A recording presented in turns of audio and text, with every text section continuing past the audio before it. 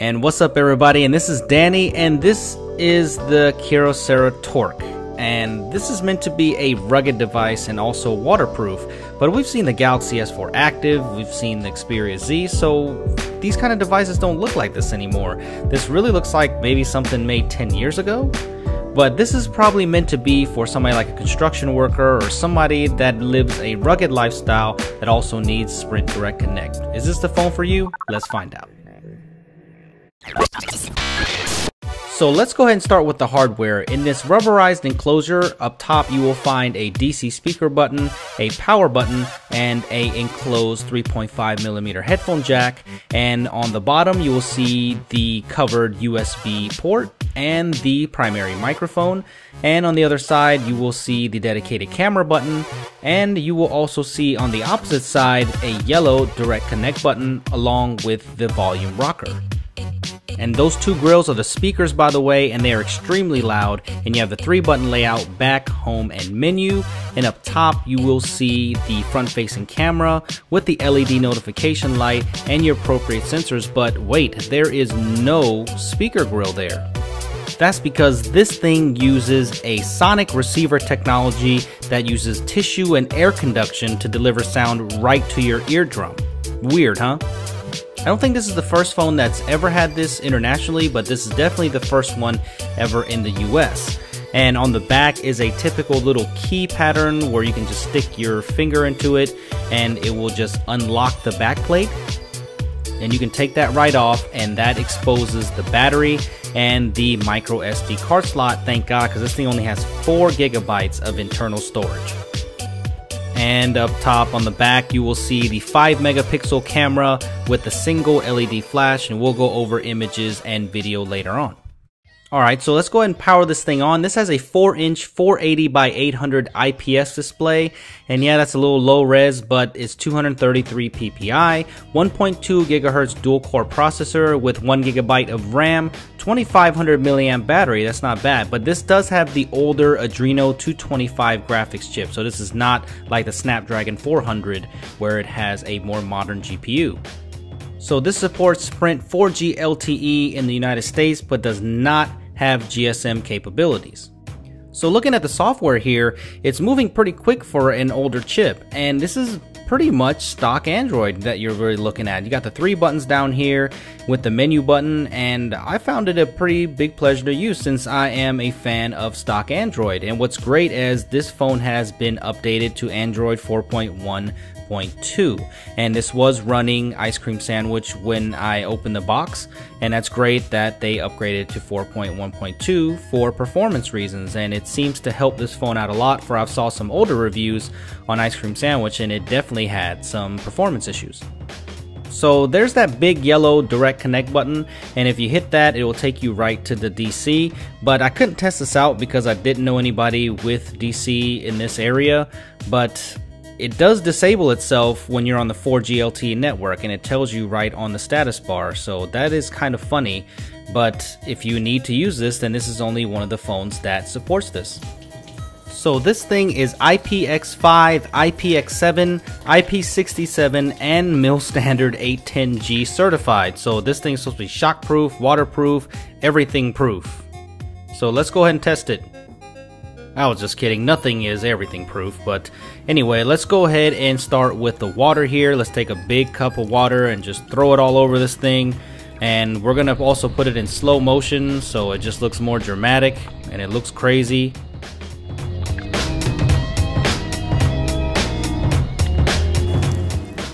Alright, enough of that. So let's go ahead and just dump the rest of this water on there. And of course, all the ports have to be closed. There's flaps for the headphones and the USB. Make sure all that stuff is closed. And there it is. Bunch of water on there, and it was sitting in a little bit of water, and it works just fine. Screen is operational, and everything looks good so far. So let's go and check the back for the Galaxy S4 Active was letting in water throughout the gaskets and it was not sealing right, but this seemed to be just fine. No water in the battery. Alright, let's drop it in the pool.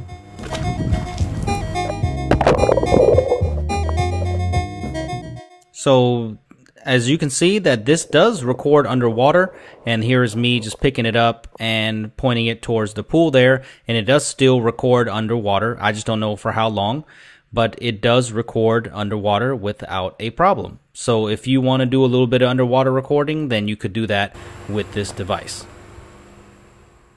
But the one thing that I did notice is that it muffled the microphone after I dropped it in the pool. And actually my Xperia Z did this one time, but after it dried out, it worked out just fine. And it did the same thing here. After it dried out for about 20 minutes, this also worked again. So don't worry about that. But here's what the microphone sounded like. Let's go over here to maybe some So from here, we're going to jump onto the 1080p video. It can record in 1080p, but I cannot find focus anywhere. There's no autofocus. There's no tap to focus. I couldn't find it. So if you guys know of it, if you find it in the software, then let me know. I could not find it anywhere and it just does not focus, but it takes mediocre 1080p video. The big thing I didn't like was that the camera key is not a two-stage shutter key. You hit it once, it just focuses and takes the picture. But you do have a little bit of option here in the camera software. You do have panorama and HDR and you have a little bit of focus settings and things like that, but it's pretty basic and you know, I don't think most people are going to do any kind of manipulation on this 5 megapixel camera. I think most people are just going to point and shoot. So let's take a look at the images. So the quality of the images were just alright. Nothing too special. It's pretty mediocre actually. Uh, the color replication's a little bit weird, but I mean, it's not too bad. I guess if you're in a pinch, it's not really a problem if you're just taking casual pictures, but you know, in good lighting conditions, it actually takes some good pictures. But you know, a lot of times it's either too soft or it's definitely overexposed. And I've had some macro focus issues for sure with this camera. And it just takes mediocre pictures, but then sometimes it takes some decent pictures like this one. So, you know, don't bet too much on this camera. But this is a pretty rugged device, so if you drop it from any height, you probably should be okay.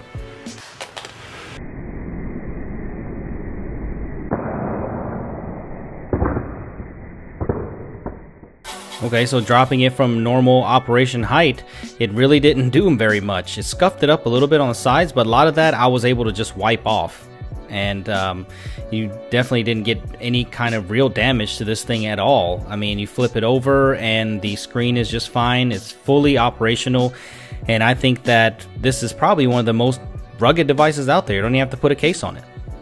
Alright, so let's go ahead and talk about the call quality a little bit. This is exclusive to the Sprint 4G LTE network, and that sonic receiver thing is kind of cool, actually. You kind of are a little freaked out by it because you just got to make sure it's to your eardrum, but it does work, and the sound is pretty clear. It's not the clearest I've heard, but it's very interesting, and it does work fairly well. And the people on the other side said I sounded okay. Um, it was just not the best call quality I've ever had on the phone, but I didn't really expect it to be the best anyway. And the network definitely performed like it should. Uh, in some of my rural areas, I did drop a few calls, but in the metro Nashville area, no drop calls, and the network performed like it should have. I found Signal to be a little bit better than even the 8XT that I was using for a prior review unit. But let's go and look at gaming real quick. And you would think that this thing wouldn't game very well, but it does game fairly well. But man, the speakers on this thing are ridiculously loud. You got to listen to these.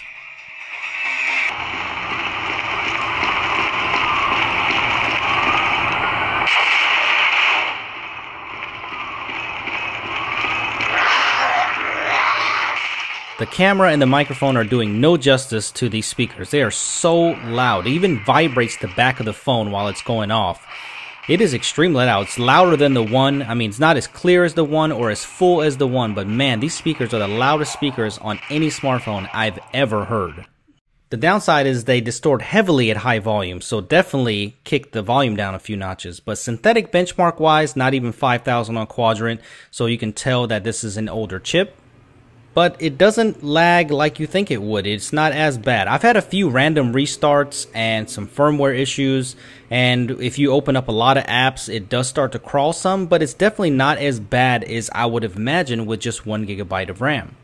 So the Kyocera Torque, I'm not sure what to think about it because it's definitely one-sided. It's for people that are maybe in military or people that hike all the time or people that just want a rugged device.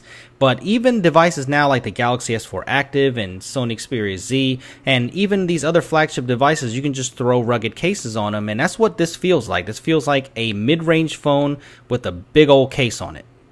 I mean, it has its advantages. It's waterproof, it's dustproof, shockproof. But in the end, it's just a mid-range device and has a definitely lackluster camera. And the battery life is actually not too bad. I was able to get through a full day of battery life if I didn't use the screen on high. But what do you guys think about this Kyocera Torque? I personally think it's pretty ugly, and if I had a two-year contract, I probably would not upgrade to this device. But it's not as bad as you think. So what do you guys think? That does it for me. Please leave your comments in the comment section below for I want to know what you think about this device. Make sure you subscribe to my channel for a lot more tech videos and please follow me on Twitter at Super Scientific. I will see you guys in the next video and thanks for watching.